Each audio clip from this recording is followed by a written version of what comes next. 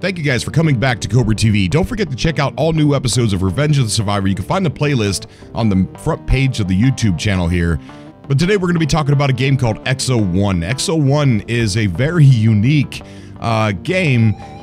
You know what? It, reminds me of Journey. It really does remind me of Journey. Um, and it's super sci-fi. But we contacted the developer and they gave us a demo of the game and we went ahead and played through it. Now, most of the audio when I was recording uh, didn't record right, and something was going on, and it was a little. Uh, when I when I recorded, it was a little choppy.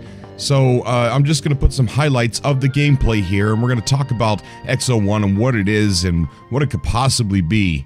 The signal came out of nowhere. A point in empty space, light years from any star. After decades of searching the skies, mankind knew it was no longer alone in the universe. We called them the Senders.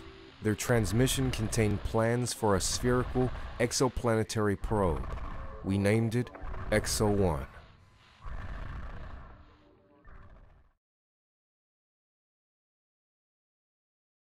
The Exo 1 mission has fascinated historians for generations. What was its purpose? Who were the senders? And why did they give us this technology? All we know for certain is that the pilot of humanity's first manned exoplanetary probe never returned.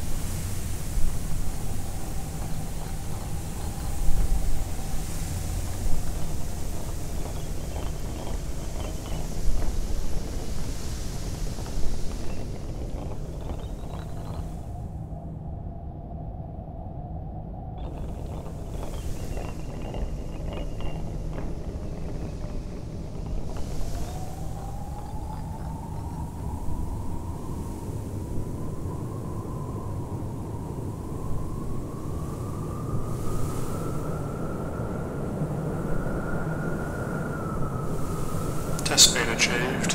Uh, we have a spiking energy rating. Emergency shutdown procedures, kill power. And after the wormhole closed, the pilot was never seen again. At the time, scientists had little idea of the workings of wormholes. Science fiction usually depicted them as instantaneous doorways. However, what our unwilling pilot found was exactly the opposite. This first trip lasted days, and unfortunately, the worst was yet to come.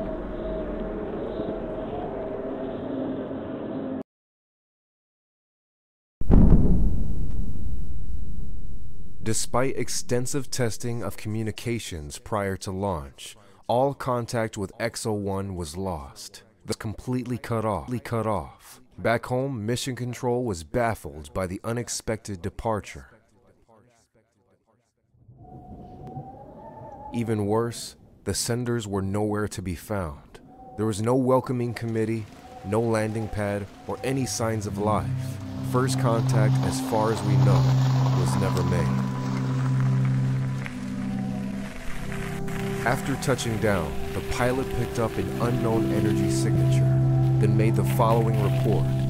Anomaly spotted, a blue beam of light originating on the horizon, projecting into the upper atmosphere, unclear whether man-made or natural in origin.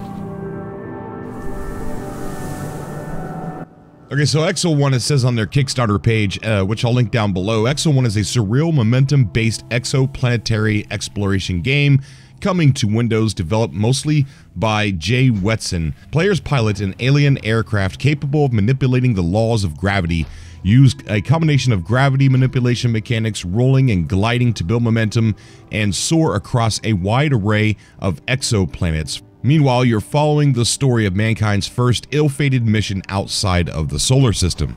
It goes on to say Exo 1 has been described by some as Tiny Wings and Journey meets 2001 A Space Odyssey. Uh, the game mechanics are inspired by games like Tiny Wings and Journey from PS3 and Tribes Ascend. Every aspect of the game is laser focused towards delivering an entrancing, flowing, and exhilarating feeling of movement across a, a range of utterly alien exoplanets. It goes on to say you can wind down and travel at your own pace. There are no challenges, time limits, wars, or enemies in the game, as uh, but as you traverse these planets and otherworldly reverberating electric guitar laden soundtrack plays, while a far future historian narrates and presents clues as to what happened during humanity's first ill fated mission outside of the solar system.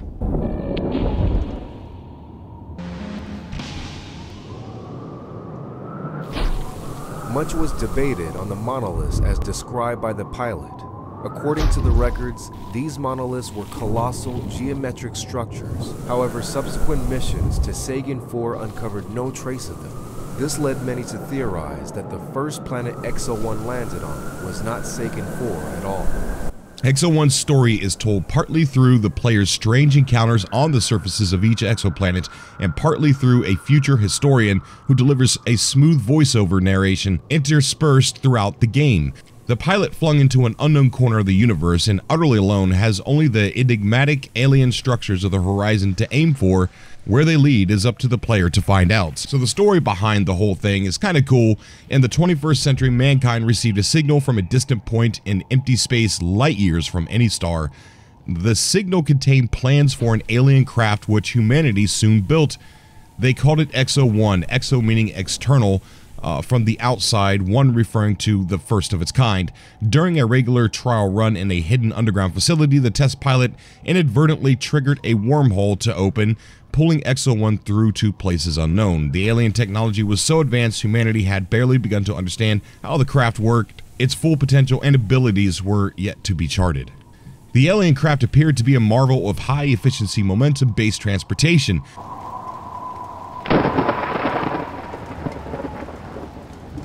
Much of what we know of EXO-1's journey, so many thousands of years now in the past, has been lost to time. The events that took place, related data, and records are like an ancient puzzle with many missing pieces. We can only do our best at this recreation.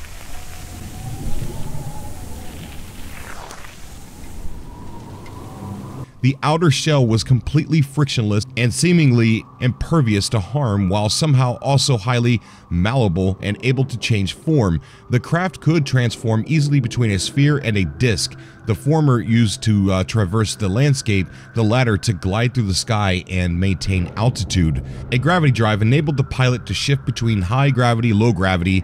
and high gravity mode, the uh, craft becomes inc incredibly heavy, dropping out of the sky at great speed or rocketing down hillsides. In low gravity, the craft was able to maintain momentum and high speed uh, quickly racing up hillsides and launching off into the sky. In combination, these forms of momentum enabled EXO-1 to reach colossal speeds, reach great heights, and cover vast areas in little time and without any discernible power source.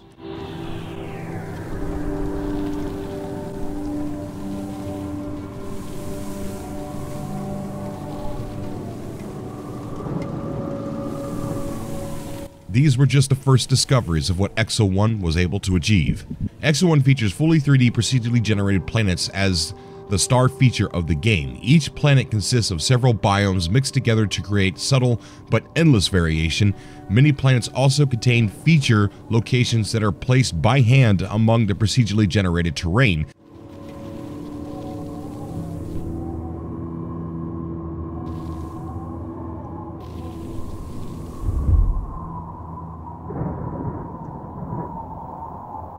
The game seems to me as I mean, it really does have a 2001 Space Odyssey feel to it. At the same time, I kind of feel like uh, Journey a little bit.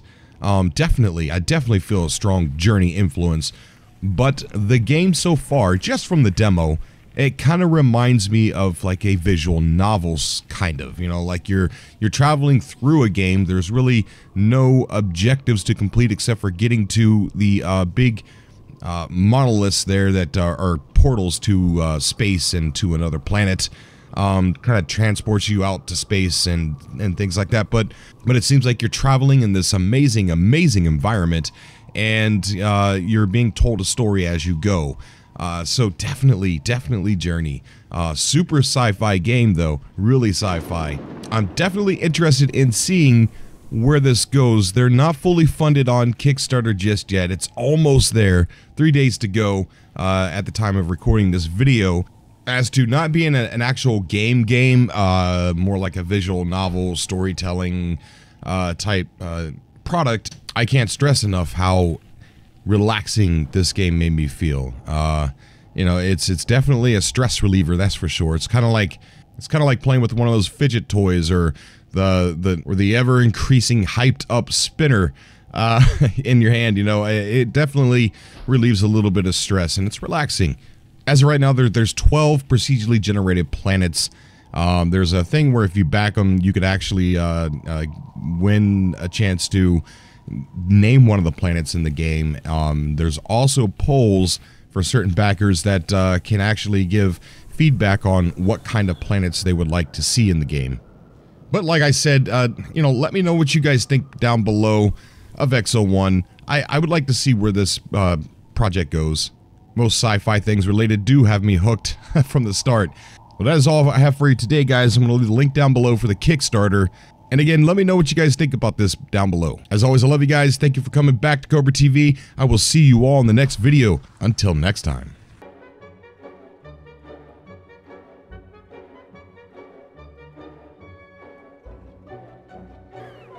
Uh-oh. What do we got? Hey, back off. I, I no, look. I live here. I'm a local. You do not need to mess with me. Look, I can run faster than you. We could do this all day long. Stop it. Is why? Is because I wouldn't feed you? You got wings and you can't even fly. Your tail's like really, really big. Your head's so small. All right, all right.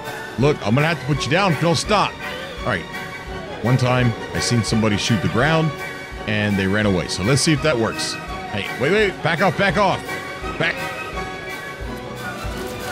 Yeah, you scared? I'll do it. No! Ah! Shield is down. You made me do it.